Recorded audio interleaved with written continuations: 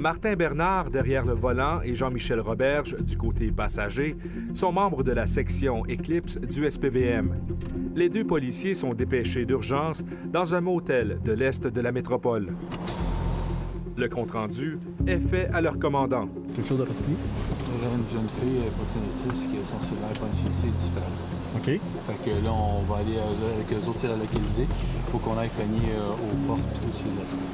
Après avoir établi un plan d'action dans le stationnement, les agents vont rencontrer la préposée à la réception. Les policiers Bernard et Roberge pensent avoir localisé l'adolescente au deuxième étage. Leur coéquipière accélère le pas pour aller les rejoindre. Souvent, les gens qui sont impliqués dans le proxénétisme sont eux-mêmes armés. Puis, le proxénétisme constitue également une source de financement euh, qui facilite actuellement la- la- l'accès aux armes à feu.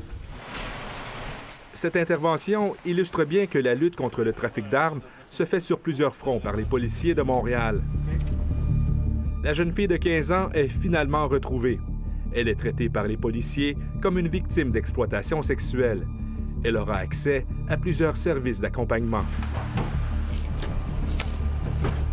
Mission accomplie pour le duo de policiers qui retrouvent leur coéquipier pour la réunion du soir. Hey, bonsoir, gang. Car Eclipse, ce sont eux, une soixantaine de policiers triés sur le volet qui interviennent un peu partout sur l'île de Montréal en fonction des renseignements criminels qu'ils obtiennent. Leur spécialité, le crime organisé.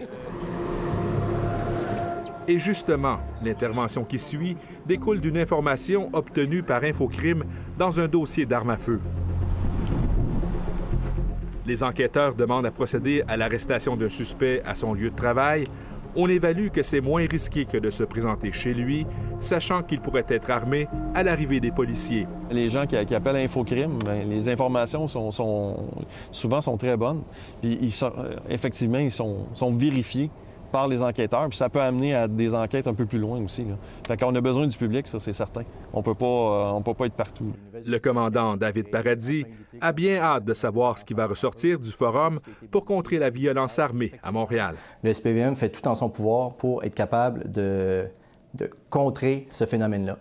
Cependant, il faut comprendre que le SPVM ne peut pas faire tout à lui seul. Donc, c'est important d'avoir également l'apport du communautaire, l'apport euh, des, des citoyens de Montréal. Donc, je pense que ce forum-là va avoir la capacité de rapprocher ces gens-là, puis de trouver des solutions qui sont non seulement applicables au niveau du service de police, mais pour, pour la société dans son ensemble.